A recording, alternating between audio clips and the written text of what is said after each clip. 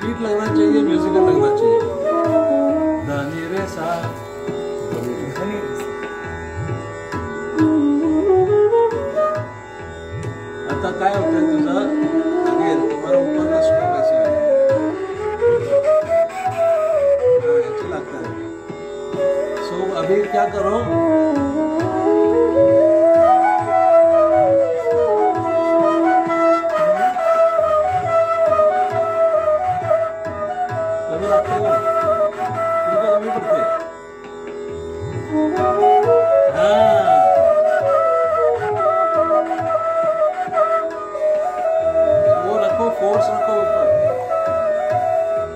नीचे आते हो उसको कंट्रोल करके लाना है।